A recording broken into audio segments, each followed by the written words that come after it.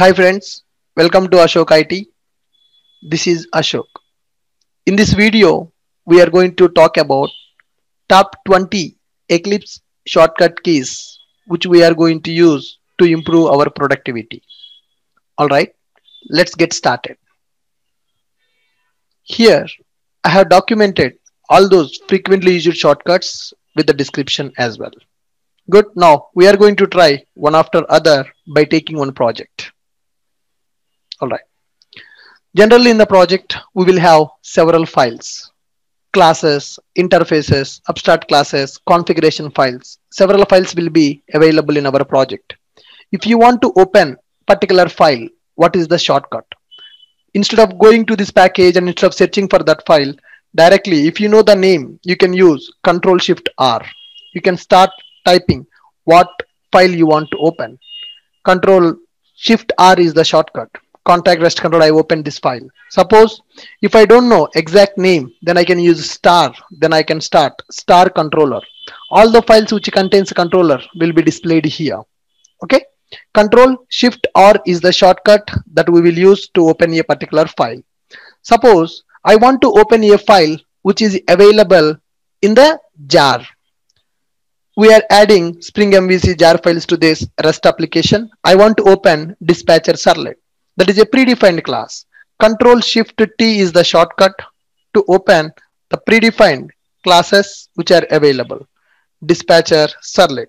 Even if the class is available in the jar file, we are able to open that. We are able to open that by using Control Shift T shortcut. Now see here, Control Shift R to find all resource files including configuration files also in the workspace. Control Shift T to find a class even if that is in the jar file. Now, once the file is open, if you want to close that file, control W, that file got closed. Suppose if you open multiple files, if you open multiple files, to close one file, we will use control W. If you want to close all the files at a time, all open files if you want to close at a time, control shift W, all those files got closed. Now, I open one file, swagger config right now. If I want to maximize this control M. If I want to minimize control M. Control M is used to maximize the file as well as to minimize the file. Okay. Now let me take one more class. Contact. Here I have some annotations and I have some variables and I have one unused import statement also. Okay. Now First, I want to delete one line. Keep the cursor, then press Ctrl D. Ctrl D is the shortcut which is used to delete a line. Okay, once those annotations are deleted, I have unused import statements. How to remove all these unused import statements at a time? Control Shift to O to organize the imports. Control Shift to O is used to organize the imports. Suppose if I have taken a variable private array list of student IDs. Now array list is a predefined class. We need to import that. Control Shift O. Import statement is added. That is called organizing the imports. Suppose if I have private HashSet places. Okay. Control Shift O. Import statement is added. To organize the imports, we will use Control Shift O shortcut. Now, suppose my code is not in the proper formatted order. My code is looking in the zigzag mode. I want to format this code properly. I want to organize this code properly. To format the code properly we will use a shortcut. Control shift f. Right? Now see here my code is not in the prop control shift f. Now my code is formatted. Okay? Good. Next one. If you want to comment one line control slash then that line is commented. If you press that control slash again, it will be uncommented. For single line comment, for single line commenting or uncommenting, control slash we will use. Suppose if I want to go for multi-line comments, select the lines of code which you want to comment. Control shift slash. Control shift, this is slash you need to press. Okay. If you want to uncomment, control shift backslash control shift forward slash and black slash to add or remove multi-line comments for our code next i have variables here i want to generate setters and getters for these variables. Alt Shift S R, which is going to display this window. Here you can select all, click on generate.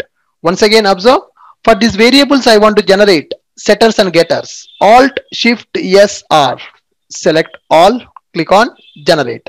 Setters getters generated. Save them. Now I want to generate toString method for these variables. Okay, what is the shortcut for that? Alt Shift S S, which is used to generate toString method. Alt Shift S S, which is used to generate toString method. Now I want to generate a constructor using all these fields. Instead of writing that constructor manually, we can use a shortcut for that. What is the shortcut to generate a constructor using all these fields? Alt Shift S O. Click on generate. Constructor generated with all these fields. What is the shortcut? Alt Shift S O. Click on generate. The constructor generated with all these fields. If I want to delete one line, Control D. Save it. How to format this code? Control Shift F, which is used to format that code. Able to understand? Next one. I want to see all the methods, variables which are available in the class. I want to see the outline of this class. Control O, which is displaying all the variables, constructor, methods, everything. The complete outline of the class I'm going to see by using this Control O. Control O, displaying outline of the class. Now, directly you can click on this method name you will go to that method. When you have a class with multiple methods if you want to see particular method implementation directly control o will give you outline of the class. Now see the beauty of the control o? Control o first time when i press control o first time when i press control o it is giving outline of this class. If you press again it will give superclass methods also. It will give you superclass methods also. Two times you can press that okay good. Now so when you have a method this is my open brace and i want to jump to the closed brace directly. Control shift p. Currently i am at the open brace. My cursor is at the open brace. I want to go to the closed brace of this method. Control shift p. My cursor is coming to 26th line you can see. I'm keeping cursor at the 19 i'm pressing control shift p. It is coming to 26th line. Okay now if i want to add one blank line if I want to add one blank line, then I'm going to use Control Shift Enter, which is going to give one blank line. Control D to delete one line. Control D to delete the line. Control Shift Enter to add a blank line. How to format? Control Shift F is the format statement. Got my point? Now, suppose I want to take a written statement. I want to take a written statement. Now, this is I'm creating an object and I'm calling the methods. This is a method chaining. I'm keeping my cursor at the end of this line, control 1, enter. It is storing the method return value into a variable. See the beauty? Control 1, enter. It is giving that return statement also. Then directly I can write this return build. Return build. So if you want to store the method return statement into a variable, you can use control 1, enter. Control 1, enter. Got my point? Good. Now, if you want to go to previously edited place, control Q, previously edited Swagger config file. Now, currently, I'm in the contact.java class. I'm pressing control Q. It is going to Swagger config because this is the place where I have edited previously. If you want to go to previously edited place, you can go, you can use control Q as a shortcut. Suppose I want to keep this logic in try catch blocks. I want to surround this logic with a try catch. Instead of writing the try catch manually, select this piece of code, then press Alt Shift Z. It is asking which one you want to use. Once again, select this piece of code, Alt Shift Z, try catch block, select it. Now that code kept inside the try block and catch block is also added for that. Able to understand how to add try catch block to our code? Alt Shift Z is the shortcut. Alt Shift Z is the shortcut. Now, whatever the piece code is available in this method, I want to extract this logic into a, another method. Suppose I have written a method, my method containing 30 lines of code. Hurry, these 30 lines are confusing. So do I should not keep 30 lines inside one method. I want to keep only 15 lines in one method. Another 15 lines I will keep in another method and I will call that method here. How can we do that? Select the piece of code which you want to extract to another method. Right click, refactor, extract method. Now it will let me add this as M1. Click on OK. Now whatever the logic I have selected, it came to M1 method and from where you have extracted, there that M1 method is getting called. So when you have more lines of code in one method, you can use this approach to divide into two methods. Got my point? Good. So these are the common shortcuts that everybody will use while doing the coding in the Eclipse. Right now, again, my code is disturbed here. I want to format, Control Shift F, which is used to format my code. Got it? Look at these shortcuts we have used now. Control Shift R to find a file in the workspace. If you want to open a file, if it is in the jar, Control Shift T is the shortcut. If you want to close one file, Control W is the shortcut. If you want to close all the open files, Control Shift W. If you want to organize missing import statements or if you want to remove unused imports, Control Shift O is the shortcut. If you want to format your code, Control Shift F is the shortcut. To add or remove single line comment for the selected line, Control slash. If you want to add one blank line, then Control Shift Enter. To generate setters and getters, Alt Shift SR. To generate a toString, Alt Shift SS. To add the constructor using fields, Alt Shift SO.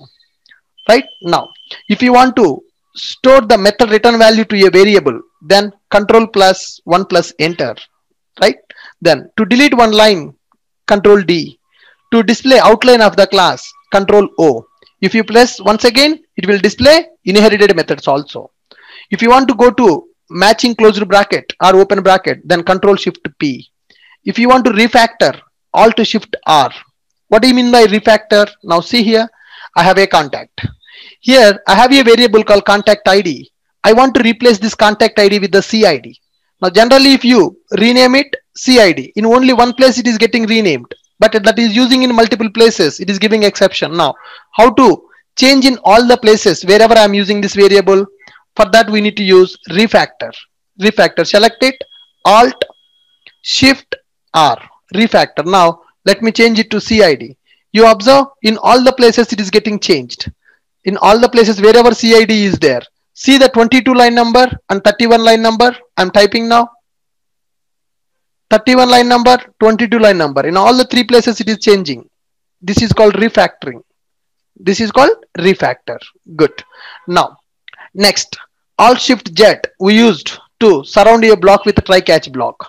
Alt shift t.